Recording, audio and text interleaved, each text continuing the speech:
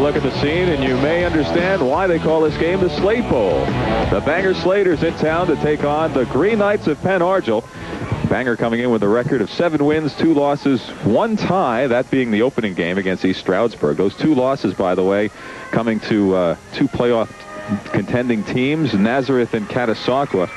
And Pen Argyl, as we mentioned before, coming in still looking for their first win in John Piper's first year. And of course, Mike, we should temper that by saying that Piper started the season with only six seniors, and he's down to four. He lost two with season injuries. Well, and that really makes them a chance to win. Lining up under center, Marasini drops back, lets it fly, and Bangor's looking for big real estate gains. And look out, breaking free is Steven Stackhouse. He cuts up the middle and is finally brought down at the 33.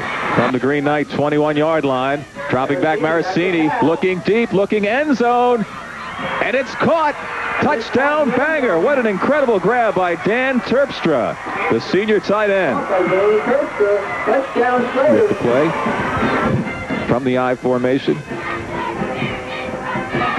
And it could be a long run. Breaking free, number 20, James Miller into the end zone. Touchdown Bangor.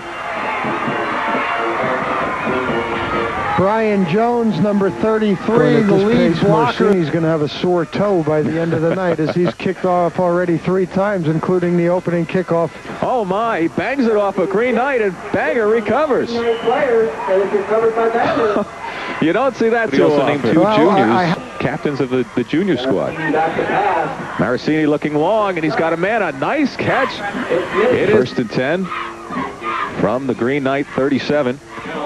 Here's the handoff, and look at all kinds of running room here for Brian Jones, and he's rumbling down the left sideline. Five yards to go, and he's out of bounds at about the three. His team, it was Bangor who had lost their starting safety. And they're going for it on fourth down. A quick pass. Is it caught? Yes, it is. Touchdown Slaters. That ball hauled in by Scott. Second down and about eight. It's a passing situation. It's intercepted. The first pass of the day for the Green Knights goes awry. And making the grab was Terpstra. He's finally brought down in Green Knight territory at about the 46-yard line. 40. Back to punt is Keith, and it's a bad snap. Keith has to go all the way back to his own 15-yard line. He went down on one knee, and that's where they'll put it. Bangor will take over on the Green Knight 15-yard line with 144 to play in the first half. Well, a mistake that you just cannot afford. 32-27 over Allen. Third and about a yard. Handoff up the middle, and it is a touchdown for Bangor. Miller busting through the final yard, and he gives Bangor a 27-0 lead with 11 Together seconds some to go good sustained drives, and then uh, as a result, they lead 27-0. Marasini letting it fly early, and it's complete right at the first down marker.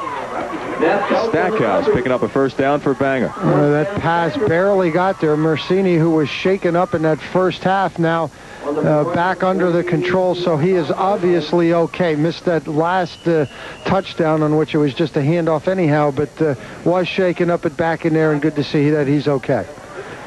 So the Slaters now working out of Pen Argyl territory from the Green Knight 49. Double handoff again. Miller bringing it up.